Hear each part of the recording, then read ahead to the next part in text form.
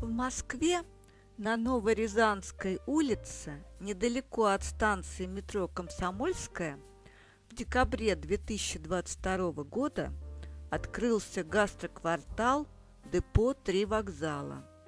Уникальное многофункциональное пространство общей площадью 2,8 гектара. Изначально ансамбль краснокирпичных зданий был возведен в 1911 году для Рязанского парка городских железных дорог. Комплекс зданий был построен по проекту инженера Михаила Поливанова. Вначале здесь было трамвайное депо, а с 1937 по 2015 год здесь находился второй троллейбусный парк. Первые троллейбусы появились в Москве в 1933 году. Они постепенно стали замещать трамваи.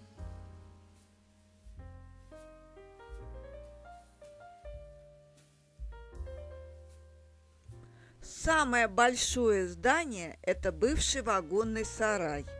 Украшают это здание небольшие башенки по краям – а башенки над центральным входом венчают красные звезды –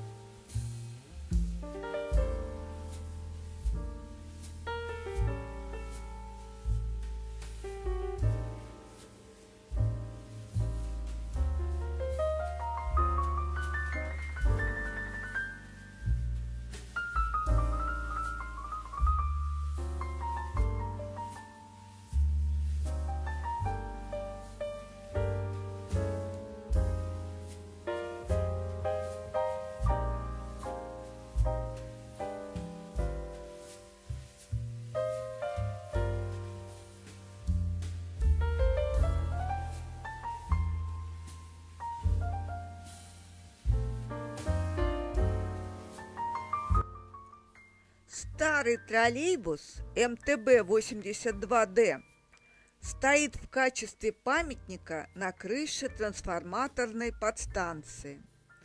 Эта модель троллейбуса выпускалась сначала в Тушино, а затем в Энгельсе. С 1946 по 1961 год было выпущено более 5000 троллейбусов этой модели.